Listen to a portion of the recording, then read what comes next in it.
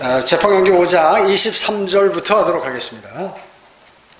주의 천사가 말하기를 너희는 메로스를 저주하라 너희는 그 거민을 신랄하게 저주하라 이는 그들이 주를 도우러 오지 아니하였으며 주를 도와 용사들을 대적하지 아니하였음이라 하였도다.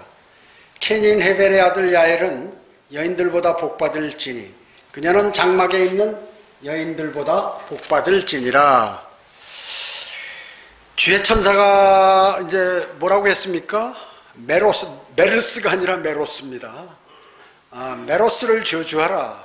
왜냐하면 어, 주님을 도우러 나오지 않았다 그 얘기죠. 주님께서 어, 명령한 그 전쟁에 참여해서 함께 힘을 보태야 되는데 뒤로 싹 빠진 거예요. 뒤로 빠진 거죠. 그래서 23절은 이 메로스는 저주받은 성읍이에요. 지금 그 이름이 있습니까? 없어요, 지금. 여기에서, 여기 왜 구절이 안 나와? 어디서, 어, 지금 메로스라는 이 성읍은 없어졌어, 이름 자체부터도요.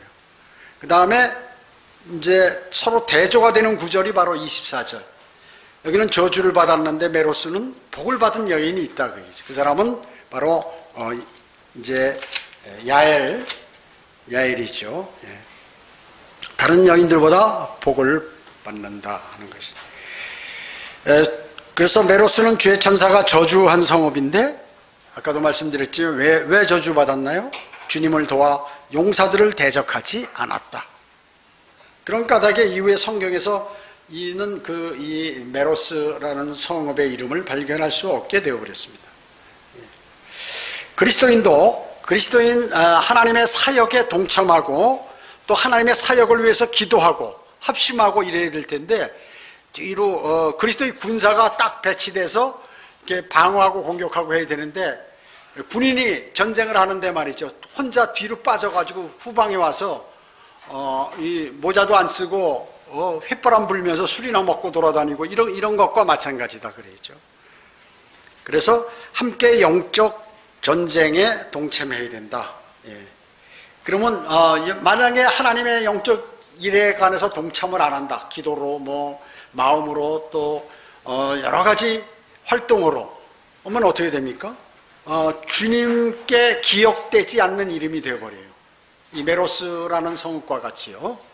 그렇기 때문에 대단히 중요한 것이고 그 다음에 미래 예언적으로 보면은 이 메로스는 요한계시록 17장 5절에 나오는 대환란 때 이제 무너지는 바벨론, 큰 바벨론이요. 신비라 큰 바벨론이라 땅의 창녀들과 가증한 것들의 어미라고 한 그거의 한 모형이에요. 하나 한 모형이라고 볼 수 있습니다. 큰 바벨론 도성은 어떻게 됐어요? 저주받은 도성이죠. 지금 바티칸 있죠? 로마 카톨릭. 그게 이제 대환란 때 땅이 갈라지면서 한순간에 다 무너져 버려 가지고 그 바티칸 그 로마에 가보면은 그 주변에 장사들이 엄청 많잖아요. 뭐 예술, 뭐 유리, 공예품들도 팔아먹고 뭐 장사들이 그 바티칸 때문에 엄청나게 돈을 버는 거예요. 거기 바티칸 베드로 대성당 한번 구경하려고 사람들이 오므로 또 교황 한번 어떻게 볼 수 없을까 해서 어, 큰 마음 먹고 외국에서 어, 짐 싸들고 그 근처에 호텔을 잡아가지고 이렇게 물건도 많이 사게 되죠. 여행하게 되면. 그러니까 그 바티칸 때문에 그 주변에 있는 사람들이 다 먹는 거예요. 그다 먹고 사는 거예요. 그리고 이탈리아 그 로마에 있는 그 성당들 있잖아요. 옛날 몇백 년 됐잖아요. 건축이 그, 어, 오래돼서 돌로 져가지고 말이죠. 몇백 년 돼도 아직까지 서 있는 거예요. 우리나라는 한 50년, 3, 40년 되면 무너져 버리죠. 어, 제가 서울에 있을 때 최초의 서울의 시영 아파트 와우 아파트라고 있었어요. 아파트가 있는데 전체가 무너져 내려가지고 어마어마하게 죽었죠, 사람들. 아파트가 그냥 무너져 내리는 거, 부실 공사에서. 그래서, 어, 우리나라도 좀 앞으로 그렇게 되겠죠. 건축을 하면 말이죠. 적어도 100년 이상은 콘크리트를 그 뭐야 시멘을 시멘과 돌 자갈을 또 모래 이걸 잘 규정대로 배합해 가지고 딱 지면은 100년 이상 간다는 거예요. 근데 아파트들 뭐 30년만 지나면 재건축해야 된다고 그러잖아요. 이런 어, 몇백 년 된 그 성당들이 있으니까 사람들이 그거 구경하려고 야 신비롭다 어떻게 그 당시에 저런 조각품들을 만들고 아름답다 이래가지고 엄청 모이는 거예요. 근데 그게 다 무너져 내리니까 어떻게 돼요? 돈 버는 게 끝난 거죠. 그래서 울고 불고 난리가 나는 장면이 영계시록 17장, 18장에 나오는 것입니다. 이 그래서 큰 바빌론은 저주받은 도성인 반면에 복받은 도성은 뭐였어요? 예루살렘, 예루살렘, 새 예루살렘, 새 예루살렘. 그리스도인이 영원히 사는 그 도성, 예루살렘, 그것인 것입니다. 그 형격한 대조를 이루죠. 모든 인생의 삶에는 이 형격한 대조를 이루는 두 존재, 두 집단이라든지 그러한 조직이 존재하는 것이에요. 보기에는 아주 융성한 것 같지만 결국에는 망해버리거나 이런 어, 그러한 일들이 많이 있는 것이죠.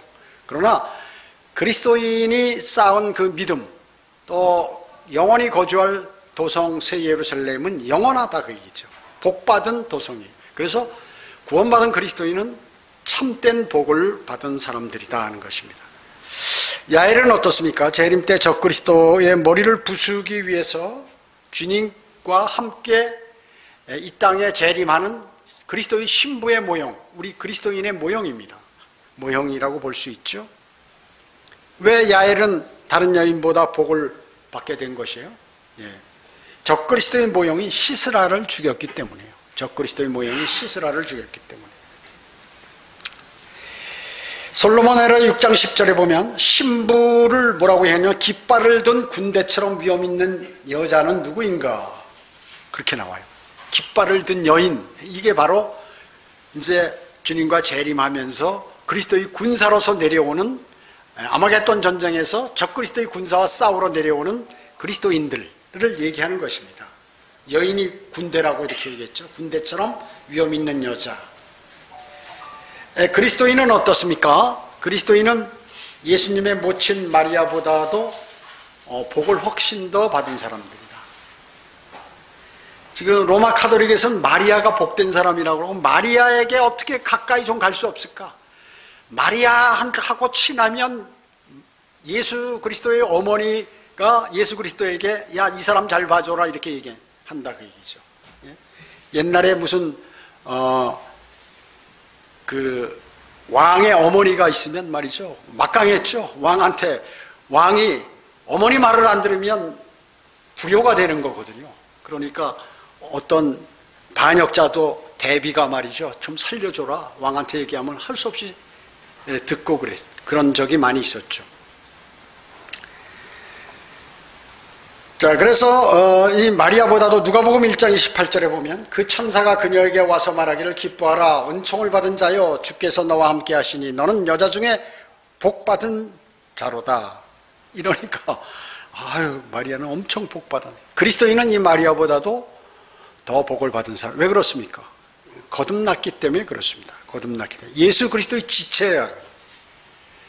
마리아는 예수 그리스도를 낳았는지 모르, 예수님을 낳았는지 모르지만 그리스도인은 예수님과 동일하다 그 몸의 일부라 그 얘기예요. 그래서 복받은 마리아보다 더 복받았다는 거죠. 그런데 예수 그리스도께서는 누가복음 11장 27, 28절에서 주께서 이런 일을 말씀하시고 계실 때 한 여인이 무릿속에 목청 높여 목청을 높여 주께 말씀드리기를 당신을 낳은 태와 당신을 먹인 젖이 복이 있나이다 라고 하니 주께서 말씀하시기를 정령 하나님의 말씀을 듣고 그것을 지키는 사람들이 오히려 복이 있느니라고 하시더라. 다른 사람들이 예수님 보고 당신을 낳은 어머니 정말 복된 분이다 그러니까 예수님께서 뭐라고 말씀하셨어요? 예. 정령 하나님의 말씀을 듣고 그것을 지키는 그러한 사람들이 오히려 복이 있다. 이렇게 말씀하고 있는 거예요. 마리아보다 더 복이 있다는 거죠. 그 예수님께서 직접 하신 말씀이에요. 예수님께서. 그리스도인들이 마리아보다도 더 어, 복받은 사람임을 우리는 알아야 하는 것이에요. 이 얘기를 로마 카톨릭이 들으면 까무러치죠. 큰일 날 소리 한다.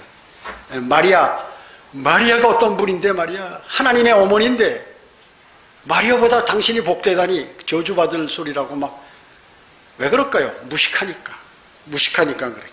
신부들은 교황을 비롯해서 신부들은 전부가 무식해요. 왜, 왜 무식한가? 성경을 성경을, 하나님의 말씀을 전달, 전파하는 사람이 성경을 모르니까 무식한 거죠. 그러니까 뭐예요? 바벨론, 바벨론 교리를 교, 저, 그 성당에서 전파하고 말이죠. 그리고 그런 행위들, 바벨론 사제들이 했던 행위를 지금도 그대로 하고 자신들이 마침 하나님의 대리인인 것처럼 어, 고해성사로 또 받고 이렇게 하고 있다 그 얘기죠. 자, 여기 25절 보겠습니다. 재판관계 5장 25절. 그가 물을 구했으나 그녀가 젖을 주었으며 귀한 그릇의 버터를 내왔도다. 그녀가 손에 못을 잡고 오른손에 일꾼의 큰 망치를 들고 그 망치로 시스라를 쳤으니 그의 머리를 쳐서 그의 관자놀이를 뚫었도다.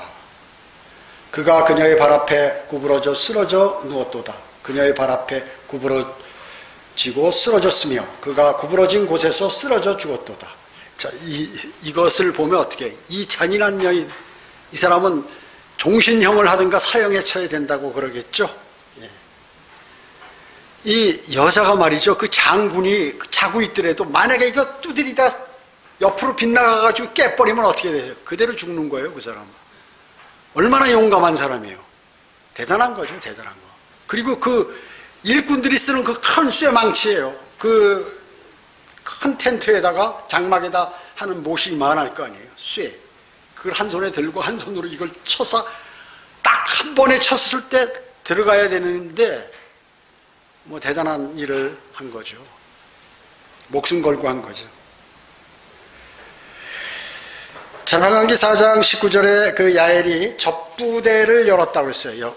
그 우유지 우유. 우유를 포함한 사람의 젖이 아니라 이제 그 소의 젖이 양이나 소의 젖이 열어서 이제 마실 것을 주었다고 기록하는데 여기에 이것은 귀한 그릇에 내온 버터 즉 어, 버터 우유 약간 응고가 덜 되면서 이렇게 마실 수 있는 거.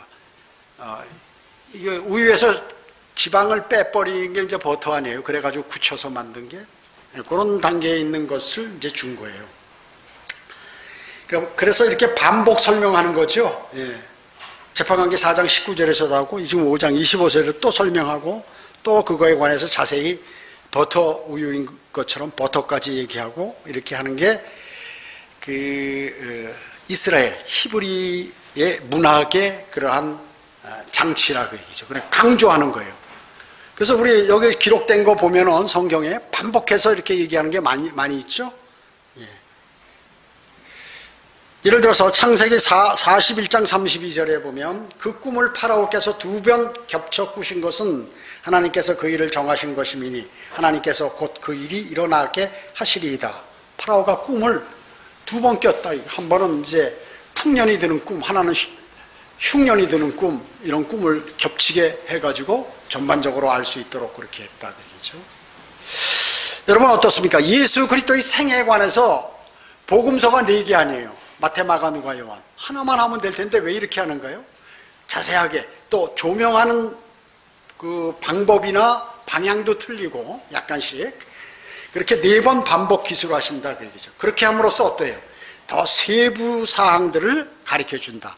예를 들어서 마태복음에서는 안 나와 있지만 마가복음에서는 나와 있고 마가복음에서도 안 나온 건 누가나 요한복음에서 나와 있고 이런 식으로 해서 겹치면서도 강조하고 그리고 그, 그 가운데서 빠진 것도 하나씩 집어넣고 이렇게 해가지고 완벽하게 다 합쳤을 때 많은 것들을 다 설명할 수 있도록 세부적으로 가리키시기 위해서 이렇게 한 것이에요. 여러분 어떻습니까? 우리가 설교를 하잖아요. 그러면 이 겹쳐서 들어가는 것들이 많이 있잖아요. 뭐 그리스도의 심판석이다. 휴거다 그럼 한 번만 하나요? 지옥이다 하면 한 번만 하냐? 구조를 여러 번 인용해서 하되 조금씩 조금씩 다른 것들을 집어넣어서 이렇게 어떻게 범위를 넓히는 거죠. 범위를 넓히는 거예요. 그거 마찬가지입니다. 재판관계 5장 26절에서 나온 그러한 아, 것을 재판관계 4장 21절에 또 기록했다. 손에 못을 잡고 오른손에 일꾼의 큰 망치. 그러니까 앞에는 그 일꾼의 큰 망치라든지 이런 게 없다 그 이제. 뭐 오른손이다 이렇게 정확하게 더 여기 와서는 보강해서 얘기를 한다. 그러면 아 그걸 다 합쳐 보면 그 여자가 어떻게 시스라를 죽였는지 자세한 사항들을 우리가 알 수 있다는 것이죠. 그래서 여러분들이 한 번 예를 들어서 성경 공부할 때 그리스도의 심판석에서 배우셨다. 그럼 다음에 또 그 얘기가 나온다 하면 무시하면 안 되는 거예요. 왜냐? 과거에 없던 것들이 나온다 그 얘기죠. 그러나 그 골가는 비슷하기 때문에 같은 구절들이 많이 인용이 되는 거예요. 그걸 아셔야 돼. 야일은 시스라의 머리를 땅에 못 박고 나서 그의 머리를 잘라내요. 그것은 아, 그것은 다윗이 골리앗을 골리앗을 쓰러뜨릴 때 그렇게 했거든요. 여러분 에, 골리앗이 그 적그리스도의 예표죠. 여기 그 뒤에 사무엘상 여기 실겨 놓으시고 사무엘상 17절 한번 찾아보세요. 아 17장 49절.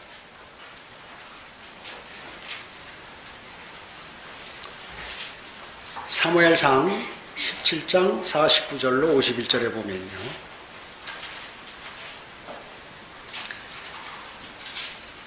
다윗이 자리에 손을 넣어 거기에 거기서 돌 하나를 꺼내어 물매를 던져 그 필리스타인의 골리앗이죠. 이마를 치니 그 돌이 그의 이마에 깊숙이 박힌지라 그가 쓰러져 얼굴을 땅에 박더라. 이 시스라와 같은 방식으로 똑같이 죽는. 이같이 다윗이 그 필리스타인을 돌과 물매로 이겼으니 그 필리스타인들을 쳐 죽였으나 다윗의 손에는 칼이 없었더라. 그러므로 다윗이 달려가 그 필리스타인의 위에 서서 그의 칼을 이제 뽑은 거죠. 칼을 잡고 칼집에서 뽑아 그것으로 그를 죽이고 그 몫을 베니 목을 베니 필리스타인들이 그들의 최고 투사가 죽은 것을 보고 도망치더라. 하나님께서는 그 골리앗이 나와서 막 그렇게 설치고 그럴 때 말이죠. 막 벌벌벌벌 이스라엘이 떠는 거예요. 야 이제 끝났다. 이제 돌격을 해 오면 이제 우린 다 죽는구나.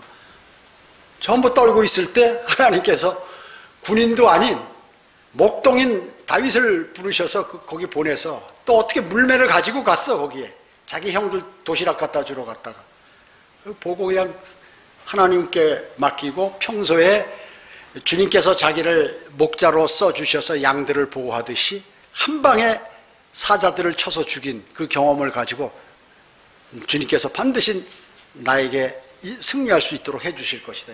한 방에 끝나 전쟁의 나라의 전쟁을 승리로 이끈단 말이죠. 그러니까 한 나라를 구출하는 것은 말이죠. 많은 사람이 하는 게 아니에요. 예. 현명하고 지혜 있는 한 사람으로 인해서 그 성읍이 예, 안전한 것이에요. 그거를 아셔야 합니다. 이 시스라도 이런 방법으로 지금 야엘이 시스라를 죽인 것이죠. 둘다 적그리스도의 예표니. 자, 재판관계 5장 27절로 갑니다.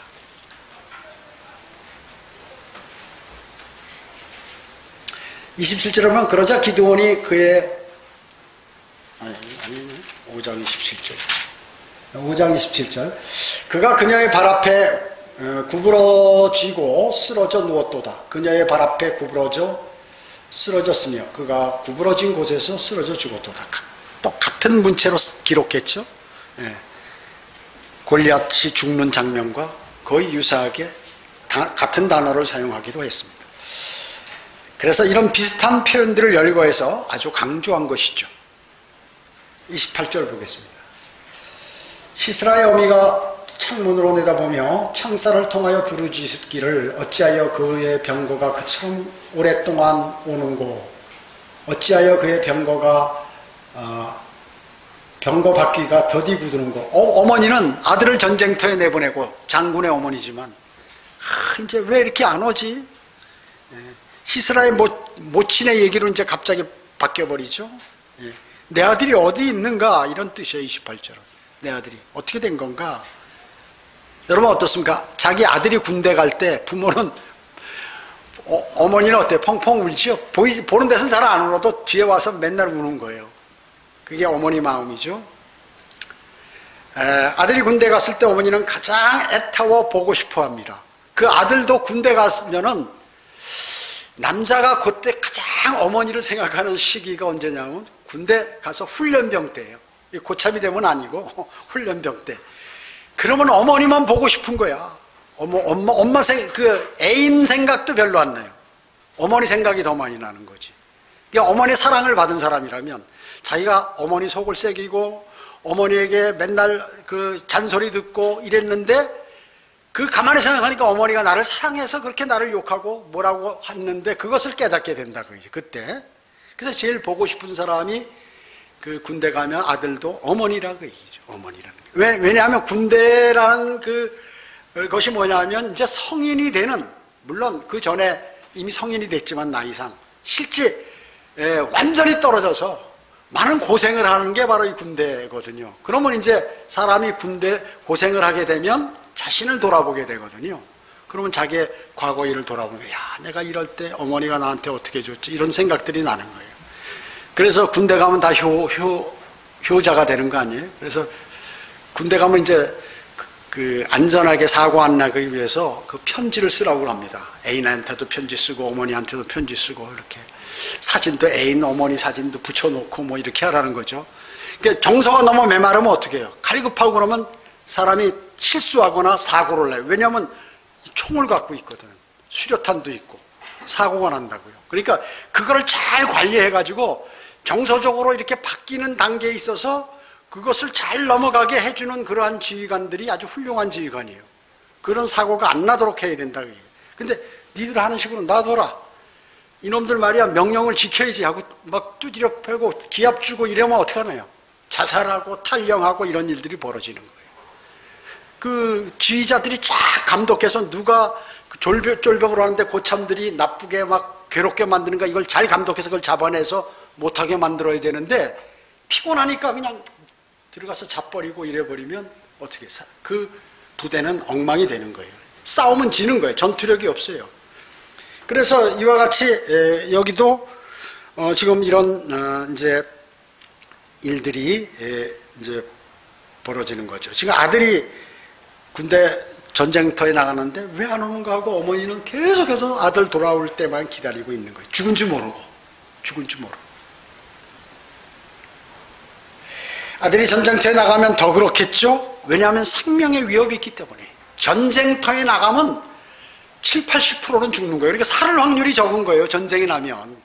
그 내가 지금 내 아들을 전쟁터에 내보냈다. 그러면 죽었다 이렇게 생각해야 돼. 8, 90%는 거의 다 죽으니까요.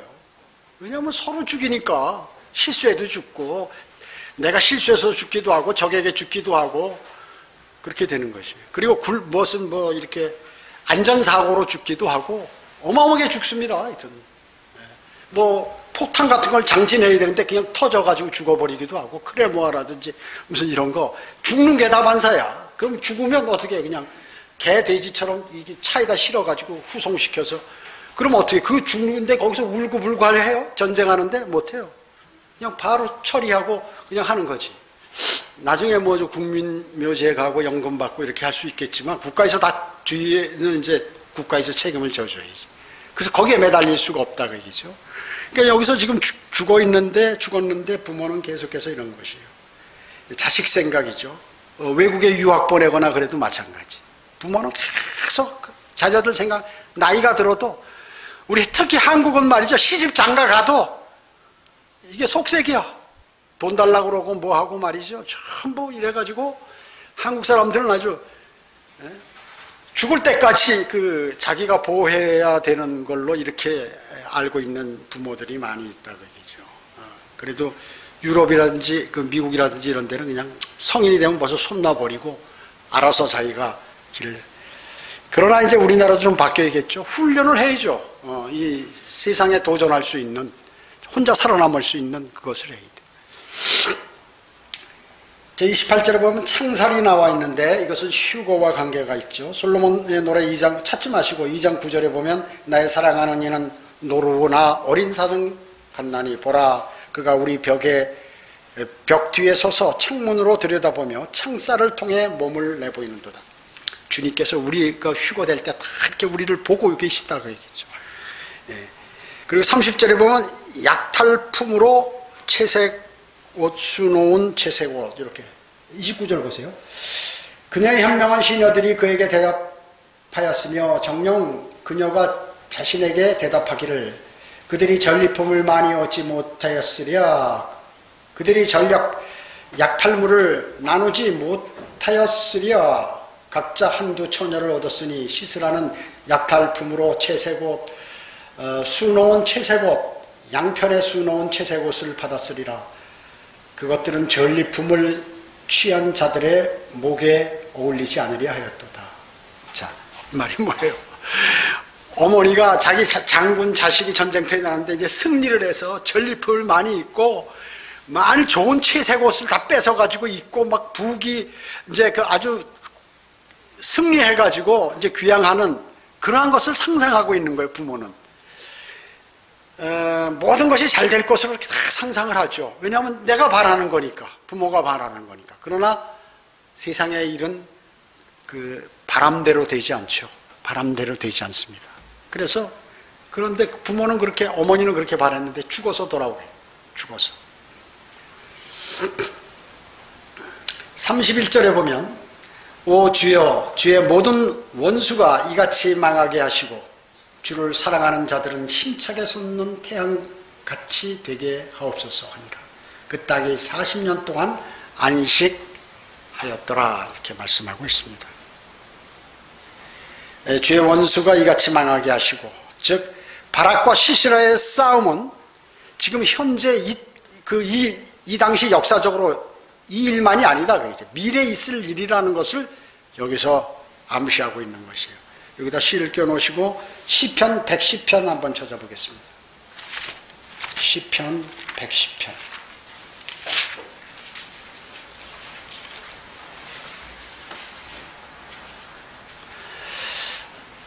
주님은 말이죠. 주님의 원수들을 아주 잔인하게 없애버리세요. 그리고 자기 자녀들을 못 살게 굴거나 방해하거나 여러 가지 한 그런 사람들에 관해서 꼭 정리하신다. 그죠? 여기 10절에 보면 주께서 어, 시편 110편 1절에 보면 주께서 내 주께 말씀하시기를 내가 네 원수들을 내 발판으로 삼을 때까지 너는 나의 오른편에 앉아 있으라 하셨나이다. 사실 예수 그리스도를 얘기하는 것이죠. 주께서 시온에서부터 주의 능력의 막대기를 보내시리니 주의 원수들 가운데서 다스리소서. 그죠? 천년왕국 때 배교하며 원수들 그냥 다 멸해 버리신다 그 얘기죠. 능력의 막대기로. 주의 권능의 날에 주의 백성들이 아침의 태로부터 오는 거룩한 아름다운 것들 가운데 자원하리니 주께서는 주의 젊음에 이슬을 가지셨나이다. 주께서 맹세하셨으니 후회하지 아니하시리라. 너는 멜키세덱의 계열에 따른 영원한 제사장이라 하셨더라. 하셨도다. 주의 오른편에 계신 주께서 그의 진노의 날에 왕들을 쳐 부수리라. 재림하시면서 완전히 박살내는 것이. 그가 이방 가운데서 심판하실 것이요 시체들로 그것들을 가득 채우시며 여러 나라의 머리들을 상하게 하시라. 머리를 상하게 한다고 그랬죠? 예, 상하게 하시리라. 그가 이렇게 말씀하시고. 자, 이 31절에 주를 사랑하는 자들은 힘차게 에, 솟는 태양이 되게 하소서 이랬습니다. 주의 원수들은 어때요? 주님께서 아주 박살내버리시고 다 아주 비참하게 에, 하시고 또 주를 사랑하는 자들은 힘차게 솟아오르는 태양 같게 해달라고 그렇게 기도하는 것이죠. 이것은 어째 재림 때 성취되는 거죠. 떠오르는 태양. 예, 말라키 4장 2절 한번 찾아봅니다. 구약의 맨 마지막 말라키.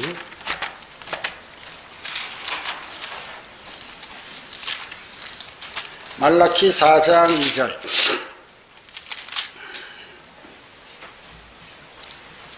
말라키 4장 2절 3절. 그러나 내 이름을 두려워하는 너희에게는 의의 탕이 그의 날개에 치유를 가지고 솟아오리니 그리하면 너희가 나아가서 외양간의 송아지들처럼 자라리라. 또 내가 악인들을 짓밟으리니 이는 내가 이것을 행하는 날에 그들이 너희 발바닥 밑에 죄가 될 것이기 때문이라. 망군의 주가 말하노라. 이렇게 말씀하셨습니다. 여기 2절에 보면 의의 태양 예수 그리스도죠 그의 날개에 치유를 가지고 솟아오리니 재림하시는 거예요 아침에 오신다고 얘기죠 아침에 그리고 어, 악인들은 그의 발 밑에 전부 밟히게 돼버린다는 것이죠. 자, 지금 여기서 두 가지로 꼭 이렇게 대조해서 말씀하시죠. 예. 저주받을 도성과 복받은 여인 야일. 또 하나님을 사랑하는 주를 사랑하는 사람에게 힘차게 솟아오르는 태양같이 되게 하시고 그렇지 않은 자들에게는 주님께서 아주 멸망으로 향하도록 다 이렇게 짓밟아 버리시는 이러한 내용들이라 그야죠. 어, 이런 것들이 기록되어 있으면 뭐예요? 주님께서 그대로 하신다는 거예요. 그대로 하신다는 거. 이것을 꼭 아셔야 돼요. 그래서 내가 비록 어려운 상황이나 여러 가지 여건이 나빠도 주님께서는 반드시 여러분들을 높이신다 그 얘기죠. 그걸 아셔야 돼. 물론 주님께서 재림하 교리적으로는 주님이 재림하시면 이제 모든 것을 다 해주신다는 그런 의미예요. 그러나 여기에도 육신적인 현재 이 땅에서도 그러한 것을 모면하고 그 길로 가게 하시는 거죠. 뭐 끊임없이 그리스도인이라고 해서 죽을 때까지 그냥 십자가에 못 박힌 그런 고통만 당하는 것이 아니에요. 그런 고통은 잠깐이요. 주님의 인도하심은 장시간이다 하는 것을 여러분 꼭 기억하셔야 합니다. 연복음 5장 28절에 이를 이상히 여기지 말라 무덤 속에 있는 모든 자들이 그의 음성들을 들을 때가 오노니 성언을 행하는 자는 생명의 부활로 악을 행하는 자는 저주의 부활로 나오리라 이렇게 선과 악에 관해서 주님은 완전히 구분해서 어, 말씀하고 있는 것입니다. 다시 재판관계 5장 마지막 절 31절에 보면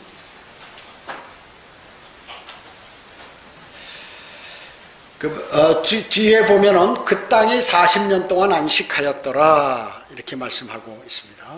예.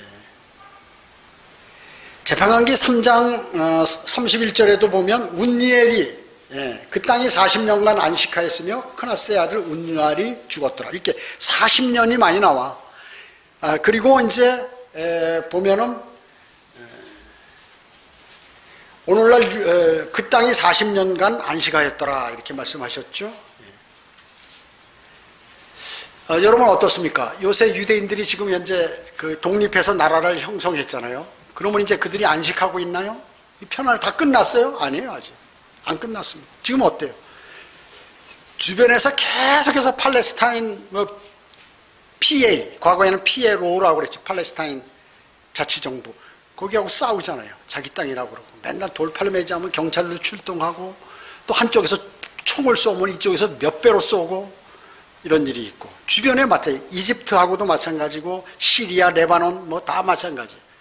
아랍 제국들하고 뿐만 아니라 이란은 뭐예요? 핵무기를 갖고 있어서 항시라도 어, 이스라엘을 공격할 준비가 다 돼 있다 그 얘기죠. 그 아직 안식을 취하는 것이 아니에요. 그럼 언제 되느냐? 주님이 재림하셨을 때 그때 를 말씀하는 거다 그 얘기죠. 주님께서 그들의 땅을 데리고 오셨는데도 아직까지 그들은 주님과의 관계가 회복되지 않았잖아요. 이것이 회복돼야 진정한 안식이 오는 것이에요. 그 회복이 언제 되느냐? 대환란 때 이제 그들이 예수 그리스도를 받아들인다. 얘기죠. 아, 그분이 하나님, 그분이 메시아구나. 이제 우리는 돌아서야 된다. 아, 우리가 몰랐다 하면서 막 가슴을 치면서 울겠죠. 회개하겠죠. 돌아서는 것입니다. 주께서 어, 주 예수 그리스도께서 다시 돌아오셔서 안식을 주실 때까지 거기 팔레스타인의 전쟁 이거는 끊임없어요. 끊임없는 것입니다. 예. 그래서 재판관계 5장은 바로 주님께서 돌아오셔서 권세를 잡는 것 그것에 관한 내용이에요. 그것에 관한 내용인 것입니다. 자, 그 다음에 6장으로 가겠습니다. 6장. 주의 목전에 이스라엘 자손이 악을 행하였으므로 주께서 그들을 7년 동안 미디안의 손에 넘겨주셨더니 자 이와 같이 40과 7이 계속해서 나오는 거예요. 예. 7년 동안 미디안의 손에 예. 7과 40이 여러 번 나타나는 현상이 구약 성경에 나와 있어요. 7은 뭐예요? 다니엘의 70주의 연수죠. 대환란 7년을 얘기하는 것입니다. 이스라엘을 7년간 시험하시는 것이죠. 주님께서. 40일은 또 40일은 뭐예요? 시험의 기간 40은 모세 40일간 밤낮을 시내산에서 어, 금식했죠 율법을 받기 위해서 골리앗은 뭐예요? 40일 동안 계속해서 이스라엘을 괴롭혔죠. 나와봐라 나와봐라 하고 말이죠. 겁줬어요. 예수 그리스도께서도 40일 낮과 밤을 금식하시며 시험 받으셨어요. 그래서 이와 같이 배교, 그다음에 징계가 있고 그러면 이제 돌아서요 이스라엘이. 그 다음에 뭐예요? 돌았으면 구원 받죠? 구원해 주시죠 주님께서. 구원해 주면 또 조금 있다 느슨해져서 또 배교해 버려. 이게 계속해서 돌아간다 얘기죠. 한 사이클. 이 사이클이 계속해서 이제 한 사이클이 등장하는 거예요. 어, 이렇게 하니까 7, 40년간 안식했다가 또 안 되니까 또 죄 지니까 주님께서 7년간 미디안에게 고통을 주시는 거예요.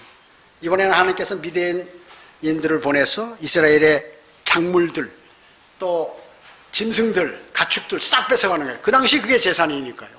그러니까 이스라엘 먹을 게 없는 거야, 이스라엘에. 이스마엘 후손들처럼 미디안들도 아브라함의 거절된 아들들과 연관이 있죠. 예, 이 미디안들은 아멜렉들과 동방의 자손들과 함께 이스라엘을 대적하게 되죠. 이삭의 거절된 아들 에서의 손자의 후손들이에요, 미디안. 아멜렉은. 근데 이들이 이제 아마겟돈 전쟁 때 다 합세해서 다시 예루살렘을 공격하게 되는 것입니다. 여기서 미디안인들은 하나님께서 아브라함의 언약으로부터 어, 후방된 민족들로 추방된 그러한 민족들을 규합한 연합군을 이 끈다는 것이에요. 여기 보세요. 2절 보세요. 6장 2절. 미디안의 손이 이스라엘을 이긴지라 미디안들로 인하여 이스라엘 자손이 산에 수물꽃과 토굴과 요새를 만들어 토굴로 들어간 거예요. 도망간 거지 이스라엘이다. 그래야 이스라엘이 파종할 때면 미디안인 아말렉인 동방의 자손들이 연합군들 그들을 치러 와서 그들을 향하여 진을 치고 가자에 이르기까지 땅의 소산을 멸하였으니 이스라엘을 위하여 연명할 것 이스라엘을 위하여 연명할 것도 남겨두지 아니하였으니 양이나 소나 나기도 남겨두지 아니하 다 뺏어간 거야 재산을 먹을 게 없어 이는 그들이 그들의 가축과 장막들을 가지고 올랐으며 메뚜기처럼 메뚜기 때처럼 왔으니 그들과 그들의 낙타가 헤아릴 수 없었으며 그들이 그 땅을 멸하려고 들어왔습니다. 미디아인들 때문에 이스라엘이 매우 가난하게 되어 이스라엘 자손이 죽게 부르짖다. 또 부르짖는 거야. 이게 잘해주면 말이죠. 돌아서서 죄 짓고 그러면 또 부러짓고 뭐 이렇게 하는 것이에요. 자, 모슬렘인들이, 모슬렘들이 자신들도 아브라함의 후손들이라고 이렇게 얘기하죠. 꼭 기억할 게 있어요. 그것은 아브라함의 후손이라고 해서 카나안 땅을 아브라함에게 주시겠다고 아브라함 후손들에게 주시겠다고 이렇게 약속하신 적이 없어요. 그런 적이 없습니다. 창세기 21장 10절에 보면 그러므로 그녀가 아브라함에게 말하기를 이 여종과 그녀의 아들을 내쫓으소서 이는 이 여종의 아들은 내 아들의 이 여종의 아들은 내 아들 이삭과 함께 상속받지 못할 것입니다. 이렇게 얘기했어요. 주님도 그렇게 말씀하셨고 하나님께서도. 또 갈라디아서 4장 30절에 보면 그러나 성경이 뭐라고 무엇이라 말하느냐 말하느냐. 여종과 그의 아들을 내쫓으라. 이는 여종의 아들이 자유로운 여자의 아들과 함께 상속을 받지 못할 것임이라고 하였느니라. 거기 살았다고? 거기 땅이 지들 게 아니라 그얘기지 절대 거기 땅은 너희들은 못 갖는다. 예, 이스라엘 이삭의 후손들을 이삭과 야곱의 후손들의 땅이다라고 이렇게 말씀하는 거예요. 그래서 어떠한 이슬람 교도든 아랍인이든 팔레스타인이라도 이스라엘 땅에 대한 어떠한 권리도 없어요. 없다는 거죠. 성경에서는 하나님께서 그렇게 말씀하는 거죠. 세상 사람들은 야 불쌍하다 그 약한 나라를 왜 공격하냐 이러지만 아니 수가 더 많고 무기도 더 많고 한데 다른 아랍 사람들이요. 오히려 이스라엘을 괴롭히는 거죠.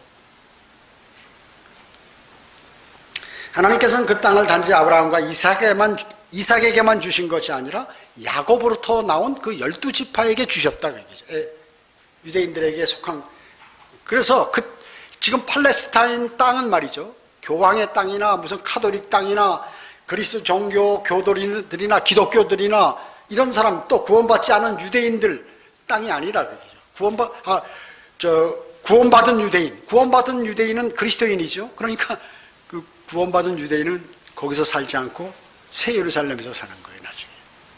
자, 그래서 지금 그 땅은 말이죠. 완전히 유대인들의 땅이다. 지금 팔레스타인 지역은. 그래서 그 땅은 아브라함과 이삭과 야곱의 물리적인 시에게 약속하신 그 땅이에요. 땅 주인께서, 땅 주인 하나님께서. 그 땅은 무조건적으로 영원히 약속되어 있습니다. 이거는. 그 어떤 누구도 그건 거부할 수 없어요. 아무리 전투력이 막하고 핵무기를 다 사용하고 뭐 중성자탄 수소폭탄을 다 사용해도 그걸 점령할 수 없어요. 절대로. 이스라엘 전 지역에 그 동굴이 산채해야 되는데 현재도 어, 방공으로 이렇게 사용되고 있죠. 동굴이 많습니다. 어, 그 로켓 포격이나 이란의 핵 공격에 대비해서 지금 이스라엘은 지하 빵카로 해가지고 다 만들어 놨어요. 다 준비가 돼 있어요. 미디안들이 메뚜기 떼처럼 왔다. 여러분 그 펄벅에 뭐 이런 대지 같은 데 보면 메뚜기 떼가 와가지고 말이죠. 전체 막 그 곡식을 다 갉아먹. 아주 가지도 안 남기고 싹 갉아먹는 게 메뚜기거든요. 그때 무섭습니다. 이집트라든지 이런 데 보면 메뚜기 떼들이 있는데. 그와 같이 이스라엘하고 다 와서 뜯어먹더라고요. 이죠 하나님께서 그렇게 만드신 것이죠. 아주 자기들 먹을 것도 남겨두지 않고 전부 동굴에 가서 숨어가지고 벌벌 떨고 풀뿌리 캐먹고 있다고요. 이 연합군들의 목적은 무엇인가요? 딱 하나입니다. 하나, 이스라엘을 파괴시켜야 된다. 그래서 대환란 때는 유대인을 무조건 잡아 죽이는 거예요. 적그리스도 군사는. 이제 앞으로 보세요. 이제 그 이스라엘이 코너에 몰리기 시작합니다. 미국도 버리고 다 버리는 거예요. 그럼 동방이면 말이죠. 여기에 일본이라든지 중국이라든지 러시아라든지 이런 나라와 아랍국과 합세해서 그 유엔군들이 이제 공격을 하는 거예요. 공격을 하게 되는 것이에요. 이스라엘. 시편 83편 4절에 그들이 말하기를 오라 그들을 단절하여 어, 나라가 되는 것을 막아 이스라엘의 이름이 더 이상 기억되지 못하게 하자. 아주 이스라엘을 유대인들을 멸살시켜버리자. 마귀들이 이렇게 해버리는 거죠. 왜? 하나님의 백성이기 때문에. 멸절되나요? 천만의 말씀. 멸절시킬 수 없어요. 그리스도인들을 세상에서 세상이 박해하면서 그리스도인들을 막 공격하잖아요. 그, 뭐, 그러면 완전히 이길 것 천만해요. 절대 그렇게 할 수 없어요. 그래서 이 모든 것들은 우리가 교훈적으로 받아들이기 예, 좋은 또 앞으로 대환란이라든지 주님의 재림 때 있을 그러한 내용들을 이미 구약에 이런 다 예시해 놓으셔서 풍성한 지식을 또 진리를 알 수 있도록 그렇게 하셨습니다. 기도드리겠습니다. 전전능하시고 자비로우신 아버지 하나님 감사드립니다. 저희도 오늘 하나님 말씀을 통하여 주님의 위대하심을 알았습니다. 미래에 일어날 일들을 지금 우리의 손에 놓고 보는 것과 같이 모두 볼 수 있고 알 수 있도록 해 놓으심을 감사드립니다. 굳건한 믿음으로 주님의 말씀을 신뢰하는 그리스도인의 삶으로 저희를 인도해 주시기 원합니다. 모든 은혜 감사드리오며 주 예수 그리스도의 이름으로 기도드립니다. 아멘.